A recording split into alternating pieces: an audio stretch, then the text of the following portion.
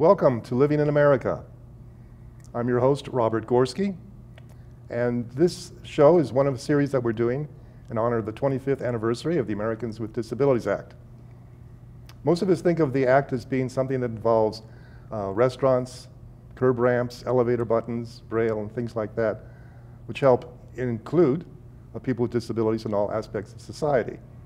And the Americans with Disabilities Act has been very successful in that regard. And the spirit behind this, the act uh, is to include people with disabilities in all aspects of society and create a win-win situation, which in most cases has been occurring. However, we're going to talk uh, in this program about one area of society where inclusion has created some problems that people with uh, disabilities, who are students, their parents, and school educators need to work together to resolve. The subject for tonight's discussion is bullying of students with disabilities in our school system. With me tonight is Brandt Chamberlain from the Professional Professionals Child, uh, Child Development Associates yeah. here in Pasadena. Uh, on his right is Abigail Clark, a fourth grade student here in Pasadena. And on her right is Lori Clark, uh, parent of Abigail. Uh, each of these individuals tonight have had some experience, uh, personal experience with bullying of students with disabilities in school. Uh, Brandt is also a professional in the field of autism, works with the Professional Child Development Associates here in Pasadena. He has a PhD uh, from UCLA and has been a resident of the area for a number of years. So let me start off with you, Brandt. Can you tell us, because you are sort of a, here for two different reasons. You're not only a professional, but you're a parent of the child with disabilities who've had some experiences with bullying in the public school system. So can you start off with giving us maybe two examples of what we should have our listeners understand is bullying? Sure, yeah. As you mentioned, I have two children. Um, they're, they're both uh, grown now. But uh, when they were um, in school, they each had experienced bullying, and they had been kind of separated out for different reasons. My son uh, has high functioning autism. He's very verbal, but um, at the same time, uh, the, the condition he's not able to talk about things that were emotionally upsetting. So he had been being bullied when he was in about second grade. He'd been getting bullied at school for a while, and we didn't even know about it because um, he wasn't able to tell us. Um, we, this was second grade. Yes. This yeah. is not high school. No, this was this was young, um, but there it does occur more in later mm-hmm. grades. But for for him, this happened when he was in second grade, and um, he was. Uh, um, I was at the school for an IEP mm-hmm. meeting one day when I noticed that he seemed to be taking too long a time in, in the bathroom. And so I went in to check on him.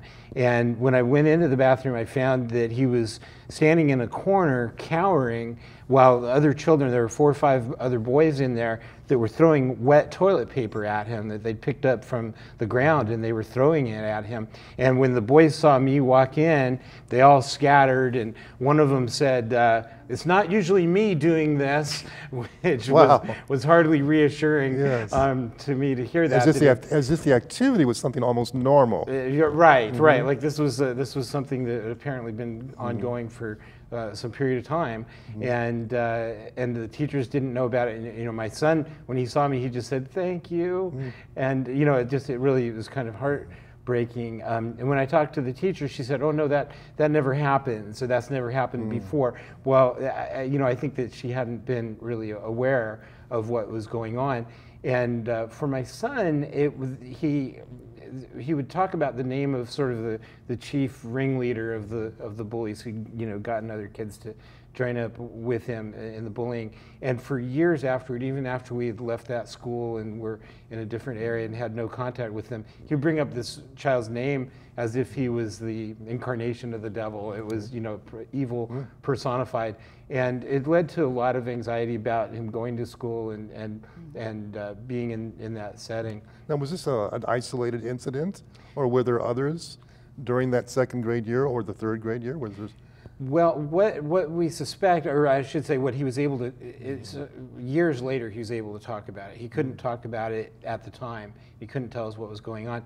But um, he was able to tell us years later that that had been an ongoing thing and that this particular boy had been um, taunting him in various ways and, you know, really become a ringleader, getting a bunch of kids mm-hmm. to, um, to uh, tease him and, and to do things like that. But then there's also uh, my daughter um, was, uh, was uh, separated out for different reasons. She, as she got into middle school, um, was kind of intellectually in a different place from a lot of the kids that, that she was with. She was, uh, she was gifted. And um, the, uh, she had been invited to a, a overnight a slumber party, birthday party by her best friend um, her supposed best friend, is after she arrived and all the other girls in her class had arrived. There was um, 15 girls there or so, and at that point, her friend chose to uh, say, "Oh, I, we don't have room here for you tonight, and you'll have to go home." Mm. And and that was it was only my daughter, and it was clearly a. Um, uh, actually, it, it, and my daughter was so upset that even as I was taking her home, and I talked to the girl's parents, but um, the, you know, my daughter didn't want anything else to do with the whole situation. Yes, it she, must be very crushing to yeah. be, and because not only was the bullying involved, but this was a betrayal of the loyalty, I imagine, that That's she felt right. from these other, other exactly. young girls. And it was such a shock, you know, she arrived with her birthday present and, you know, mm-hmm. was all ready to participate mm-hmm. in this slumber party and then to, to have that, it was really a cold, you know, slap in, in the yeah, face. So, yeah. Lori and Abigail, can you share one or two experiences that uh, you've had in, in school? Mm -hmm. So when I was in first and second grade, I went to school and I was just getting bullied every day. And it was really hard for me to have to go to school and know I was going to get bullied. And so every day I went to school, and when it was recess, um, I would just walk around the playground, and the, a bunch of kids just kept following me and like saying mean stuff to me, like "You're an idiot," or "You're why do you why are you weird? Like why do you act weird?" and um, I just got really upset. And this happened all the time at recess and lunch recess. And I would just come home and cry, and I had thoughts that I wanted to kill myself. And I was just really having a hard time in my first and second grade years with those kids. But now I'm having a great fourth grade year. Okay, well, that's good to hear that the, the atmosphere has changed and your life is a lot a lot more pleasant than it used to be. Yes. Lori, would you like to add anything, or, or another, know, I, I or another kind of incident? Sure, I, I, think it's hard as a parent when you um, when you see your child, especially a six or seven year old child, um, and they're instead of talking about flowers and butterflies, they're talking about how they want to kill themselves, where they want to kill themselves, and what they want to use. Um, that they have a plan, a purpose, and, and because they're being harassed at school. Um, she had school refusal. She didn't want to go to school. Um, we would have to, we would get to the school and have the principal and another staff member come out to try and get her out of the car. Um, she would run in front of traffic trying to avoid them. Um, often she wouldn't get dressed, so I'd bring her to school in her pajamas, barefoot, hair not combed, her clothes in a bag so that she can get dressed in the principal's office because she just did not want to go.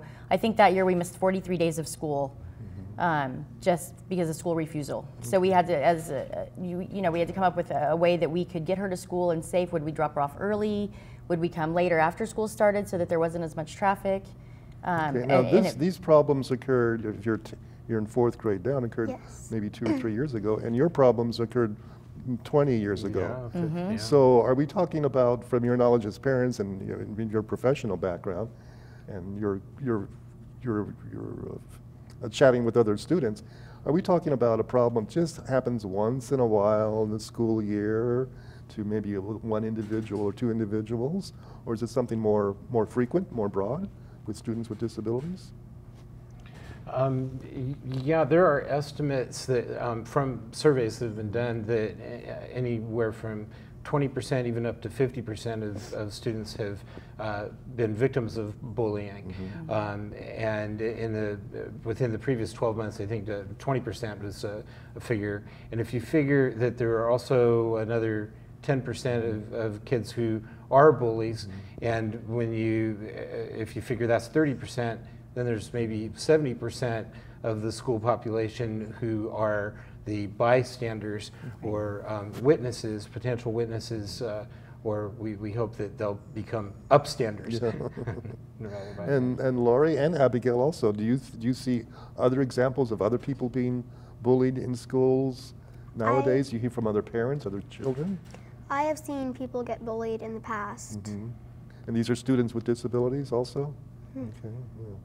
Do you talk, Lori, do you, do you talk with parents? Do they have anything to say, anything to share? Do they ever notice anything from their, from their, from their ch- uh, conversation with their children? Sure, and I think that um, it's even things like we had a, we had a situation with my son, um, who's a kindergartner, and he was on the other end. So with Abby, I was so used to being on the end where I was defending her; she was the victim. Um, and there was a situation where he was on the playground, um, kindergarten, playing with his friends. Um, they were playing Ninjago or some sort of ninja game, and they decided to go chase another student. Well, he didn't know that he was part of the game. So they chased him, they cornered him, there was four against one. They, they surrounded him and then they threw sand on him because the sand is the magic fairy dust or whatever. Um, but from that standpoint of the other child, you know, so I, I think that things still go on. I think that a lot of it is education and and um, and the school stepping in. Of course, the school stepped in right away, and and and because of what happened with Abby, we addressed it with you know with with Brendan Well, as well. Before we get to what the schools can do, should do, and maybe aren't doing, let me ask you one more thing. Here in Pasadena, we have a, I know the school system has something called a CAC, and a- Right, an commu- advisory. yeah. Uh-huh, yeah, I'm part of that. Yeah. And do you hear from other parents at these meetings that their children with disabilities are also subjects of bullying? Or is it, as I said, is this just a once in a while kind of experience that uh, doesn't happen to very many people? But I mean, do you hear, do you hear many s- other parents talking about this? No, I, I- I definitely think that uh, across the district and, and in other districts, it's, it's an issue. Um, I know of other students that it's kind of the same thing. Either they're being picked on, they're being um, taunted, they're being teased, they're being excluded, um, they're being told by other kids not to play with them. Um, So I, I definitely think that it's, it's happening. It's not just an isolated incident. Okay. And from your experience with uh, the Child Development Associates, you, your service area sort of covers San Gabriel Valley, Right, right. which would uh, uh, encompasses several different school districts. Right. Do you hear from parents of, of children with developmental disabilities that there's bullying still going on? Uh, yeah, very, very much so. Um, we have at, at PCDA we have a group called the Teen Club, and it's sort of a social group for teens that are um, have uh, social communication challenges. And uh, when we've done uh, projects on bullying with the teens, we found that all of the teens in in that group have experienced some kind of experience that would that would be in that in that ballpark, uh, varying degrees of severity. That's really amazing because, you know, I, I was, I've been a disabled person since age three, and I went through public schools and never experienced any, any of these kinds of uh, hmm. experiences that you're describing, and, and Abigail, that you've had. And so I'm wondering, is it because I had a wheelchair, mm-hmm. hmm. and the people with Yeah. wheelchairs and crutches and service animals and white canes, mm-hmm. they stand much less chance of being bullied hmm. Yes. right? So it's the people The with yeah. developmental disabilities, with intellectual disabilities who seem to be odd, stand out, and maybe have their Or the invisible disabilities. disabilities. Yeah, mm-hmm. okay. Yeah. Okay, so let's turn to the schools. Wha how did they react when you brought these uh, issues? Of course, you, you said you've learned about yours afterwards, after, most of the after, after time. But that one incident where you were actually present, present, and uh, other incidents that you were uh, uh, aware of. How did the school, how did the teacher, and the school administrators react at that time? And uh, same with you, Abigail, if you'd like to add something about how the teacher and school administrators responded when you brought this to their attention? Who would like, who would like to go first? Sure, we'll start. So um, we, we took it to our teacher, and the teacher said that she would talk to the students, and, and we weren't seeing the results that we were looking for. So then from there, we did take it to administration. And, and then we started seeing more um, them, you know, going into the classroom, talking to the students about what bullying bullying is. Um, talking to the whole class, not just the students, but talking to the whole class, Okay. pulling the, the individual students out and talking with them and talking with their parents. Um, so, but yeah, we, we did have to to take it from the teacher to the to the principal. Did you have to nudge the administration to do this, or were no, they? the administration was, was great. Okay. Yeah. Okay. How about you, Brent, in your situation of somewhat 20 years ago? Right, yeah. right. How did these teachers and the school administrators react then? Well, there was this uh, initial uh, denial that there was even uh, a problem, that there was an issue going on. Um, but one of the things, of course, with uh, children with disabilities is that we do have uh, the legal protections, including the IEP, and uh, For those of uh, viewers who don't know, that stands for, uh, the Individualized Education okay, Program. which is a requirement of federal law. That's right. Federal law, not the ADA. There's other laws that apply to uh, to the actual educational process. Exactly. The ADA applies to schools mostly with the construction and, and building and things like that. So sorry to interrupt. I thought that would be important for our Yeah, listeners yeah. to know that. Absolutely. Um, and uh, it's an individualized plan for each child that includes certain goals, and the teachers have to address the goals and they have to report on the progress on the goals uh, at each annual uh, meeting of the IEP.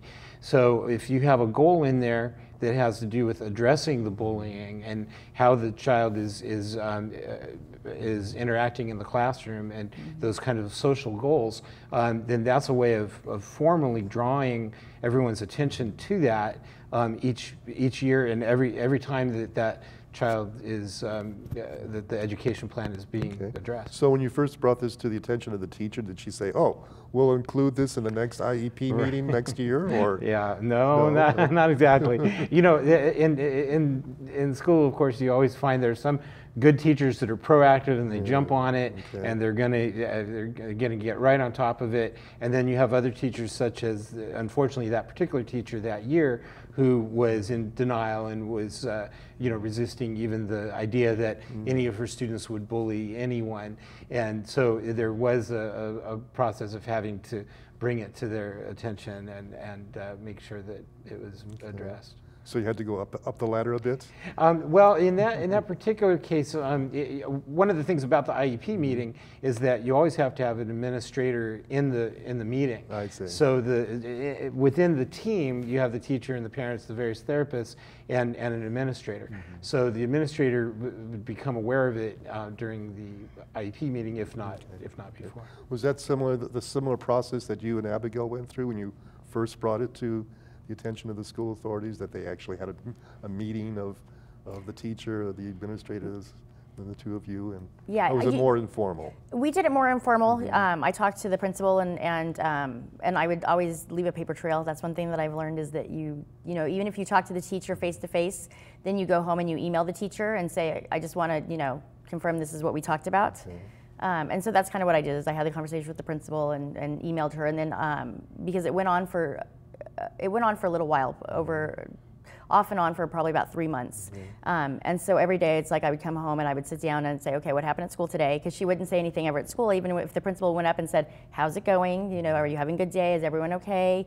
She would say yes, because she the anxiety she didn't want to um, rock the boat. And so then at home she would let me know and I'd email the principal and say, okay, this is what happened today. Okay. Now, apparently things did get better, and you're in fourth grade now, and you've experienced no bullying for Two two years? Okay. So how is your school life different today than it was back then? There's no, I'm not getting bullied anymore, and I'm on student council, and I'm like a big leader of the school. Mm-hmm. And I have a great teacher, I have great friends, and it's just been a And I think year. you brought something with you to show us that, uh, that uh, indicates where you've gone from being a bullied person to being a student council athletic an ambassador. Could you come hold that up for the camera to take a look at? And that's a, a sash that you will wear when you're on your official duties at school. Mm-hmm. Okay. And I think you're not only an ambassador, but you said you have another uh, position that you hold, right? Athletic and safety commissioner. Athletic and Safety Commissioner.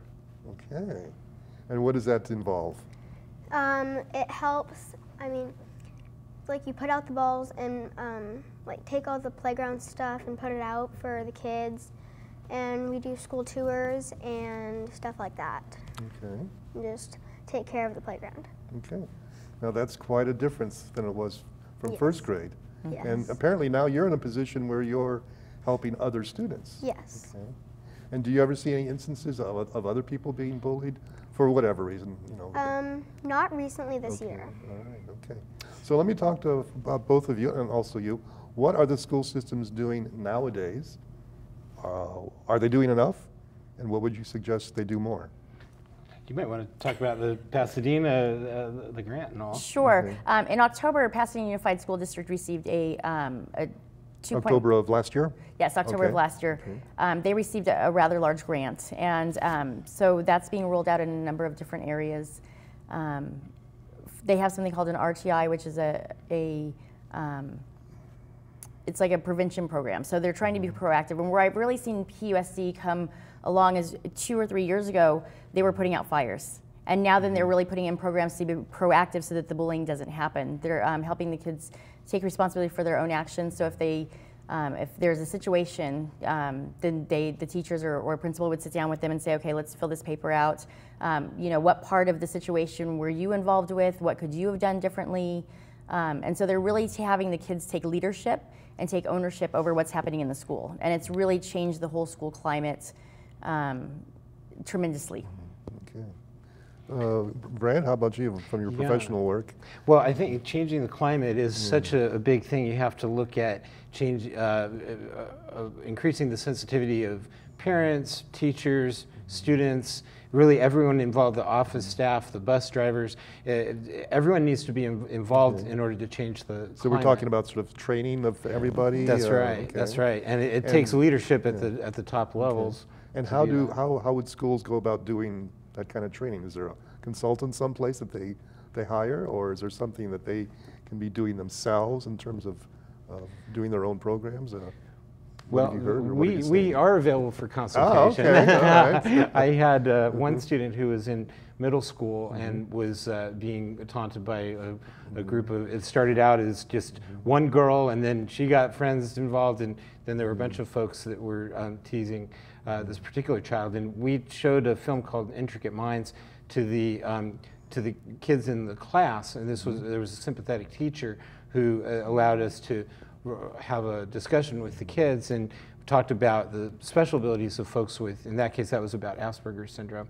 And then we talked about how, um, uh, what types of special abilities they have. And then the students got interested in the young man that I was working with was uh, talented at drawings and enjoyed doing that. They got interested in his drawings and they began to see him as a person. Um, but there are also things that can be done on a, a school-wide basis. Um, for example, there's a, a, a technique called relationship mapping, and what that involves is um, getting all the teachers in the school together, and they'll put up on the on the wall a list of all the students' names, and then each teacher has a roll of colored dots, and they'll go and they'll put a colored dot next to the name of any of any of the children that they feel that they have a positive relationship with. I see. And so then at the end, you can look at the list and it becomes very clear which stu- the students that have lots of dots. And which are being isolated? Uh, that's or- right, and or which, ones are isolated? Exactly. Yeah. And of course, the ones with a lot of dots tend to be the more outgoing ones, Mm-hmm. and the ones with uh, very few dots may be the ones that the, t- uh, that the staff really need to start paying Mm-hmm. more attention to um, building a relationship directly with those students, and then also helping them build relationships with other students Mm-hmm. as well. Um, Another thing that schools can do is uh, assessment, and I understand this is something that Pasadena has been doing, um, is a survey of everyone in the community. So you're not just surveying the, the um, parents or not just surveying the teachers, but all the students and the, the teachers and the parents as well each year about all aspects of the uh, climate. Uh, Well, it's good to know that there are things that school systems can do and apparently are doing, at least among, uh, within our area here. Let's hope it's happening in, in other areas of Los Angeles County and around the country. Uh, we're well, there is one other thing too, which is the notion of restorative justice. Restorative justice. Yeah, Okay. so whereas in the past, oftentimes it had all been about um, uh, suspending a child or, or uh, those kinds of uh, pu- Mm-hmm. punitive approaches.